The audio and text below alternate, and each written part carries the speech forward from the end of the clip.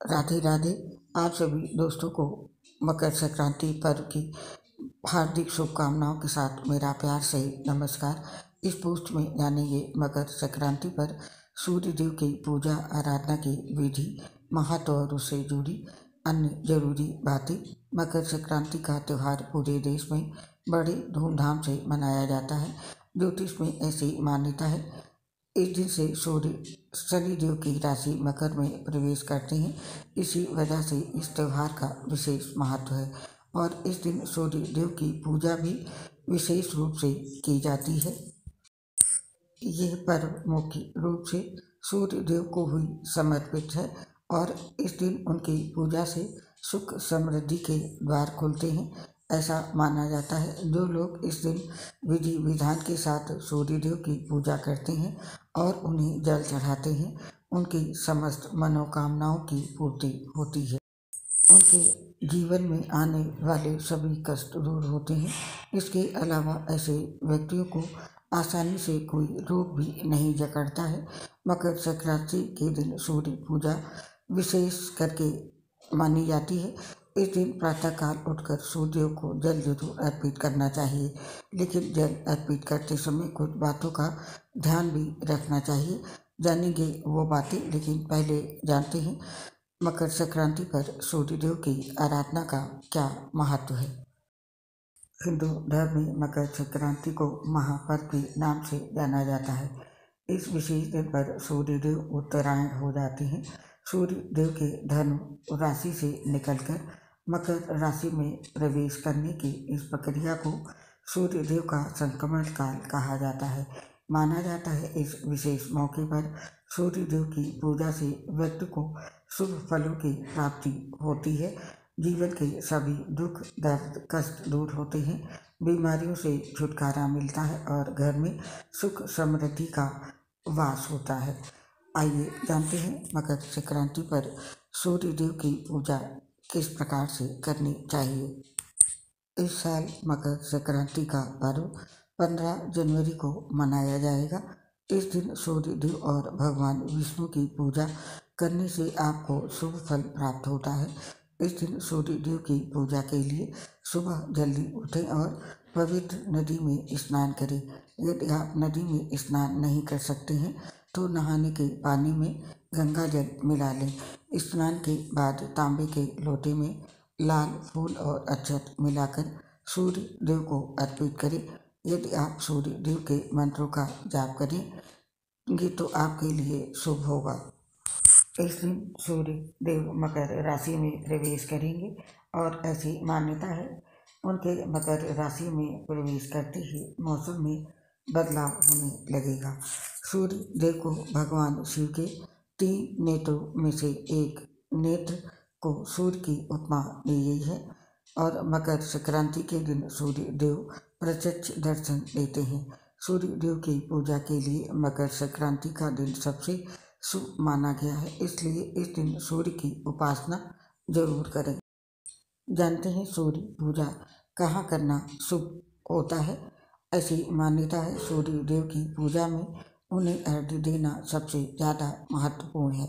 मकर संक्रांति के दिन यदि आप किसी नदी या जलाशय के आसपास जाकर सूर्य को अर्घ्य देते हैं तो ये आपके लिए ज़्यादा लाभदायक हो सकता है।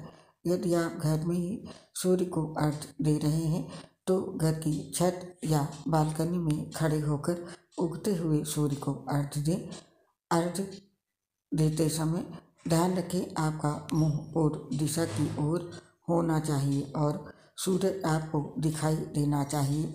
किसी भी साफ़ स्थान पर खड़े होकर सूर्य पूजन करें। सूर्य के मंत्रों का जाप 108 बार करें और आदित्य हृदय स्त्रोत का पाठ करके अपनी मनोकामना पूर्ति की प्रार्थना करें।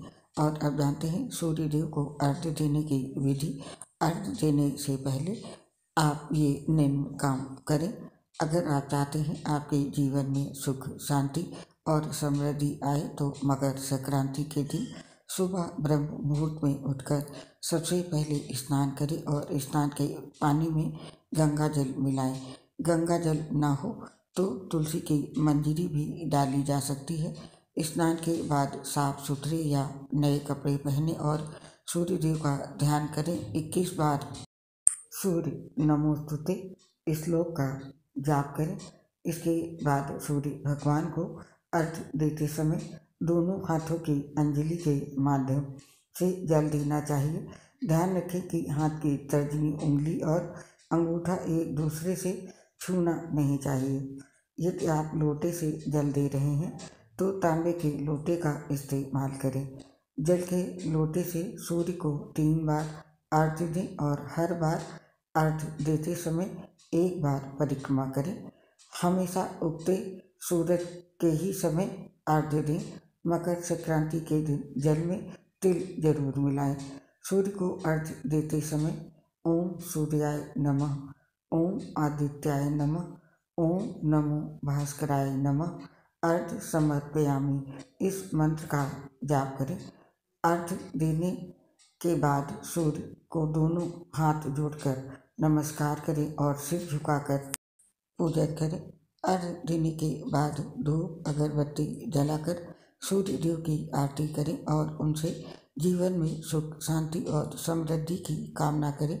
सूर्य देव को अर्घ देने के बाद उसी जगह पर खड़े होकर सूर्य देव की परिक्रमा करें। आरती करने के बाद सूर्य चालीसा या आदित्य हृदय स्त्रोत का जाप करें। इसके साथ ही सूर्य देव से अपने अच्छे और उज्जवल भविष्य की कामना करें। अंत में अपने भूल चूक के लिए क्षमा यातना ज़रूर करें और अब जानते हैं सूर्य देव को अर्थ अर्पित करते समय के बातों का विशेष रूप से ध्यान रखना चाहिए।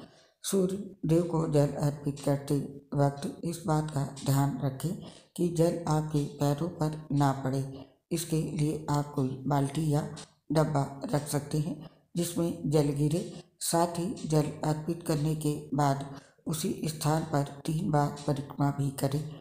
और यदि आप किसी कारणवश सुबह जल्दी नहीं उठते हैं और उठते सूर्य को जल नहीं दे पाते हैं तो जब भी सूर्य देव को जल अर्पित करें तो उसमें चावल और फूल अवश्य डाल लें। मान्यता है कि इससे सूर्य भगवान प्रसन्न होते हैं और भक्त को शुभ फल प्रदान करते हैं। इसके साथ ही सूर्य देवता को अर्थ देते समय ओम घृण सूर्याय नमः मंत्र का जप करें और दिए गए जल पर कभी पैर न रखें।